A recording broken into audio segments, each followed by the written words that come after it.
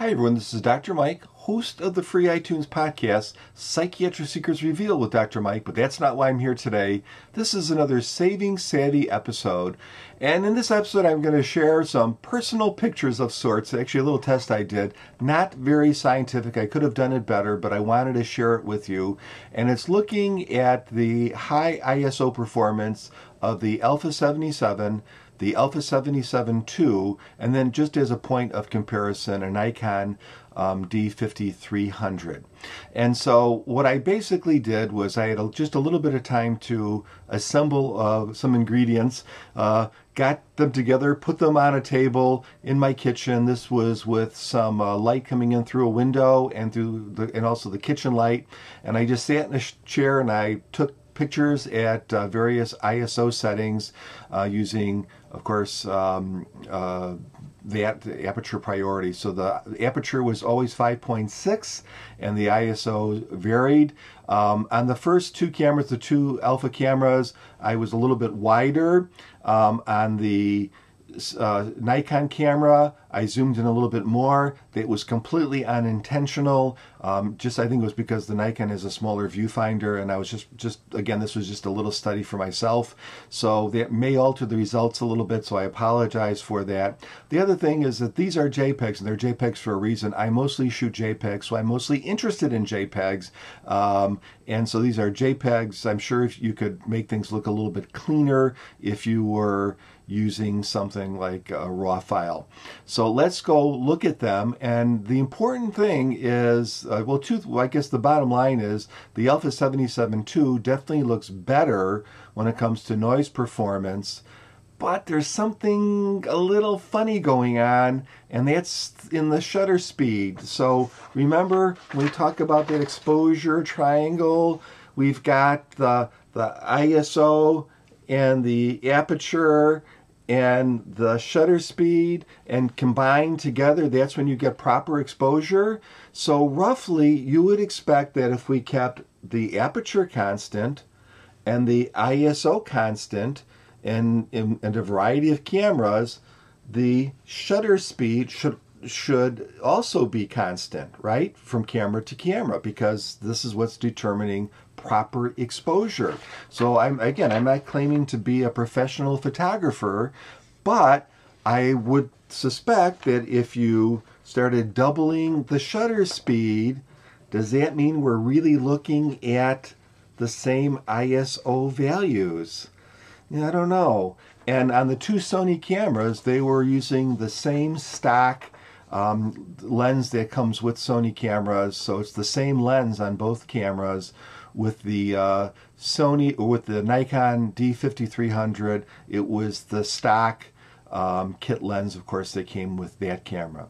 So let's take a look at some of these images and maybe in your comments you can let me know what you think and maybe educate me. Maybe I'm just looking at things wrong but I'm wondering why is that shutter speed changing? Don't know so let's take a look at some of these um, images Okay, here we are. This is the Alpha 77. Note the ISO is 12800 f5.6 and it's shooting at 1 800th of a second um, and it's pretty unusable. This is the extended range for this camera and it is extended indeed. If we crop in, it's a mushy mess. If we go to the Alpha 77 II, um, you know, certainly there's noise in there and pretty heavy noise reduction, but the picture is much more usable at 12,800, uh, same, of course, f5.6. But I want you to note something. The shutter speed is now 1 500th of a second. It's roughly, not really, but it's kind of like almost double, right? So more light, why do you have the same ISO? You guys tell me.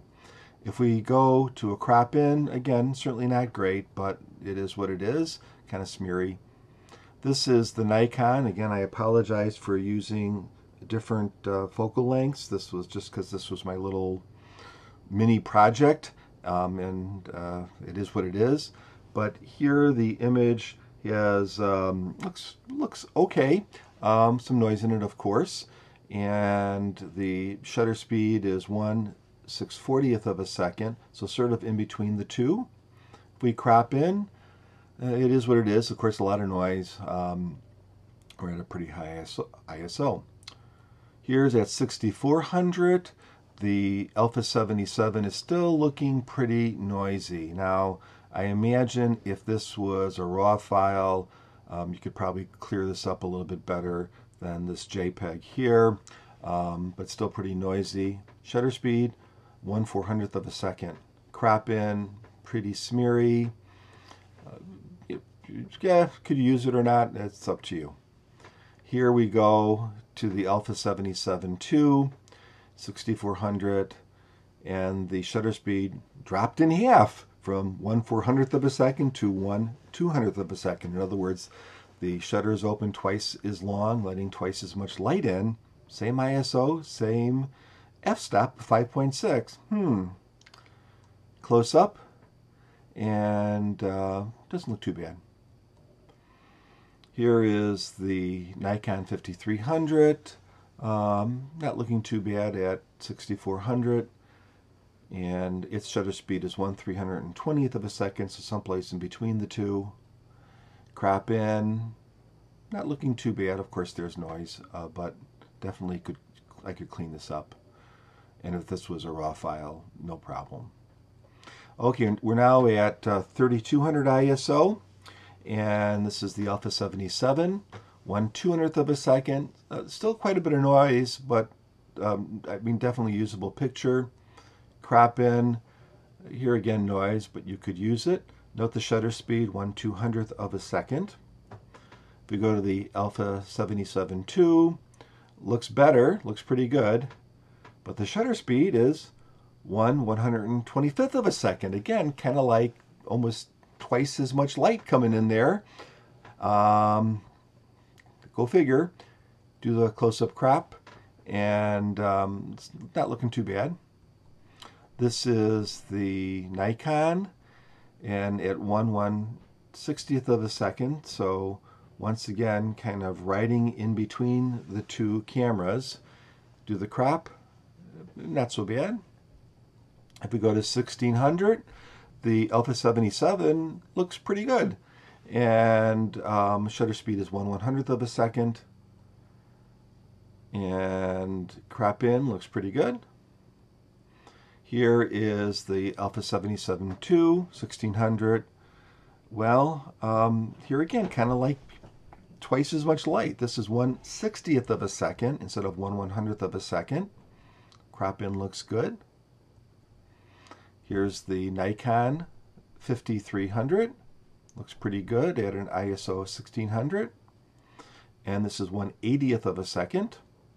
Crop looks pretty good probably a, a notch above the 77.2, I would think, but that's again maybe due to the cropping factor, I don't know.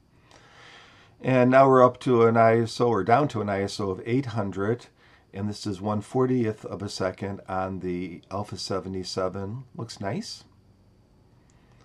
Crop in looks nice. Moving to the Alpha 77 II. Here again, about half as much. This is one 30th of a second.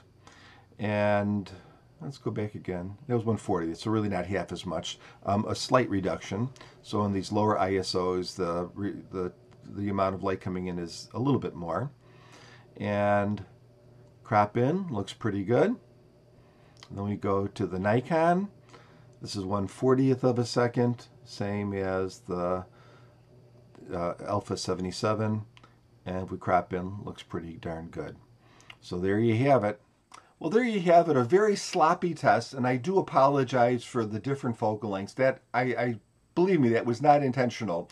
But the um, the two Sony's are at uh, 26 millimeters and the Nikon was at 32 millimeters. I think the reason that I did that was unconscious because the viewfinder on the Nikon is so much smaller. So let me offer some just additional thoughts just about the cameras in general since I use them in rapid succession without really thinking about them so I got more of an emotional feel for them. So the Nikon is definitely smaller, lighter, and much more plasticky feeling. Um, probably if I was traveling, I'd prefer that camera just because it's smaller and lighter. But if I had to use a camera on a regular basis, the Sony's, both of them, felt very beefy and solid and extremely high quality. And with the few extra buttons and uh, the LCD on top, that would definitely swing me towards that camera if I had to use a camera on a regular basis. They talked about the original Sony being kind of laggy, and the Sony that I use, the Alpha 77, has the latest firmware in it. Um, and comparing it to the Nikon, it was still pretty laggy, as was the 77 II. Now, I don't think I would have noticed that if I wasn't using the three cameras, because it's certainly not a, a, a big problem. It's just a very, very minor annoyance. The other thing to note was the uh, about the viewfinders. And really, the electronic viewfinders on both of the Sonys are just gorgeous. They're huge. They're just beautiful. I didn't think twice about them. I didn't feel like I was looking at anything inferior. And um, really, even though I think the new camera has uh, some more megapixels, just in my quick testing, they both seemed excellent compared to the Nikon, which uses a pentamirror, I believe, and the viewfinder was really tiny wouldn't normally notice that if I was just using that camera, but really felt the difference when I was um, switching between the electronic viewfinder, which was just awesome, and the little tiny Sony uh, or, or, the little tiny Nikon viewfinder. Um, so those are just some just general observations. Of course, all those cameras are great uh, and they take excellent pictures. But the one thing that I don't get is why are you almost doubling, Sony, your exposure times when, with this exposure triangle, if ISO is constant and if aperture is constant, shouldn't time be sort of constant too, right? I mean, if this is all the same thing, and in fact, the sensor on the Sony's should be, I think they're kind of identical. They say it's improved, but, you know, I mean, they're both 24 megapixel sensors, right? And improve would mean better low light sensitivity, I would think. So, so maybe some of you experts out there that really understand this stuff can tell me that I'm wrong, but I, and, and that's fine, really, but I'm just wondering, why would you have to, in most cases, until you get down to those low ISOs, kind of double, almost, almost double your, your time at those different uh, ISO ratings with the exposure remaining constant, because that certainly would have an impact on how much noise you saw in the image. Well, anyways, have a great day, and again, please uh, please uh, accept, accept my apologies for this very imperfect experiment. This was strictly for my own use, and I thought I would share it with you because it was sort of interesting, but it is imperfect, and uh, if you guys would like, do a more perfect experiment and uh, put it in the links and I'll go watch it. Take care. Please subscribe. And if you get some time, give my podcast a listen. It's called Psychiatric Secrets Revealed with Dr. Mike. It's on iTunes and other pod catching sites. Take care.